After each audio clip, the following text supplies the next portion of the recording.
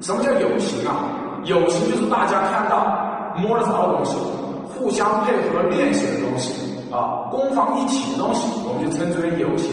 啊。例如说咱们的六种头啊，两个人互相配合去练习，你知道我要出什么，我知道你要出什么，这个称之为有形。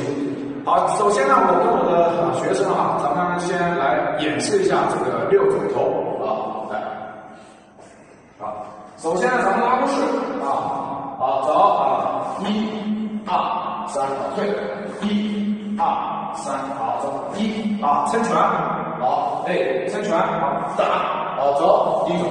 好，翻掌，走，一、啊，打，走，走，走，一、二、三，走，一。二三撑拳，一走二走三走一走翻掌，好好引走走好走一二三退一二三然后往后退收势啊，